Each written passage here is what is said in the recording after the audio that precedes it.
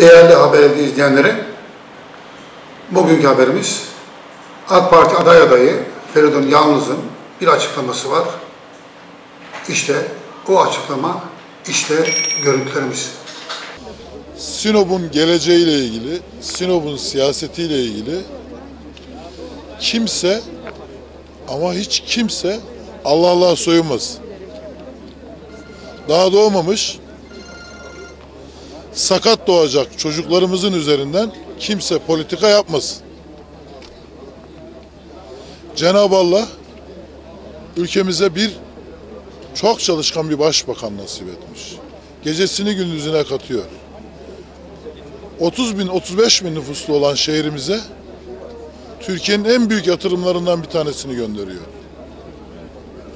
Bu yatırımların halkımız tarafından ne kadar büyük bir oranla, ne kadar bir ço- büyük bir çoğunlukla, ne kadar iyi bir şekilde değerlendir değerlendirildiğini seçimlerin sonunda göreceksiniz. 22 milyarlık dolu yatırıma bazı ne ediyor belirsiz, ne konuştuğunu bilmeyen insanların karşı çıkması Sinop halkının karşı çıktığının işareti değildir. Sinop halkına yıllardır hiçbir şey vermedikleri gibi vermeyecekleri de aşikardır. Veremeyecekleri de aşikardır.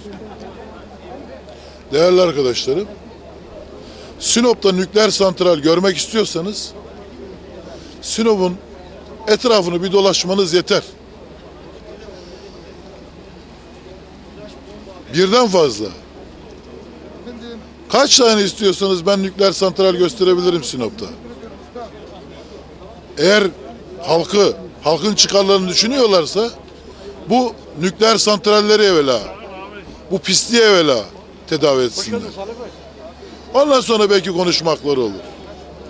Bir de net ve son olarak çok akıllı dinlesinler beni. Ben onlara bir kelime söyleyeceğim. Onu da defterlerinin bir köşesine yazsınlar.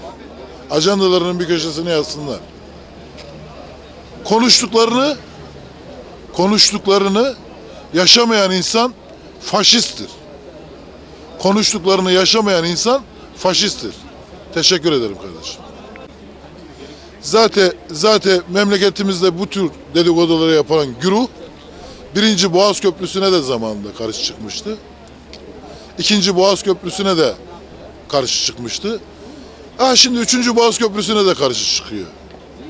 Bunlar bu memlekete çivi çakmak isteyen insana hiç durdurak bilmeden tukaka derler. Başka da hiçbir şey demezler kardeşim. Bana göre bunlar hiçbir şey vermeyen çamur ve bataklık. Teşekkür ediyorum.